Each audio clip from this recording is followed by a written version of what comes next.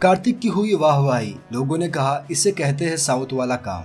बुलबुले two actor Kartik Aaryan इन दिनों हर जगह छाए हुए हैं। फ़िल्मों के साथ साथ उन्हें अपने सोशल मीडिया पोस्ट से भी लाइमलाइट बटोरते देखा जा रहा है। इसी कड़ी में एक्टर के फैंस के लिए एक बड़ी खुशखबरी सामने आई है। साथ ही इस खबर के वायरल होते ही कार्तिक की तारीफें होने लगी है।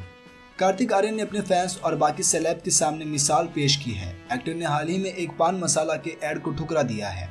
इस एड के लिए उन्हें मोटी रकम ऑफ़र हुई थी। हालाँकि इसके बावजूद भी कार्तिक ने दोबारा सोचे बिना इस ऑफ़र को ठुकराते हुए एड को करने से साफ़ मना कर दिया। कार्तिक के इस फैसले की चारों ओर तारीफें हो रही हैं।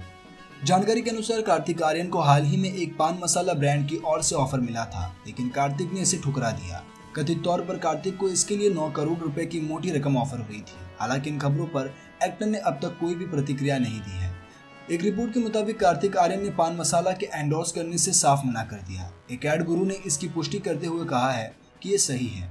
कार्तिक आर्यन ने पान मसाला को एंडोर्स करने के लिए करीब आठ से नौ करोड़ रुपए का ऑफ़र ठुकरा दिया है और इसी के लिए उनकी काफ़ी तारीफें की जा रही है। सोशल मीडिया पर कई यूज़र्स का कहना है कि कार्तिक ने साउथ वाला काम किया है। दरअसल दोस्तों, आपको बता दे कि बीती दिनों इसी तरह का कुछ अल्लू अर्जुन के साथ हुआ था। अल्लू अर्जुन को भी पान मसाला की एड की ऑफ़र मिली थी।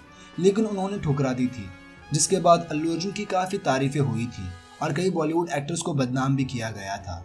बता दें कि इससे उलट अक्षय कुमार और अजय देवगन जैसे सितारे तंबाकू का ऐड करने पर ट्रोलिंग की मार झेल चुके हैं। लेकिन दोस्तों, आप क्या कहना चाहोगे इस खबर पर? अपनी प्रतिक्रिया हमें कमेंट में ज़रूर बताएँ। और अगर वीडियो पसंद आई हो तो वीडियो को लाइक करें और हमारे चैनल फिल्मी नेचर को सब्सक्राइब करें।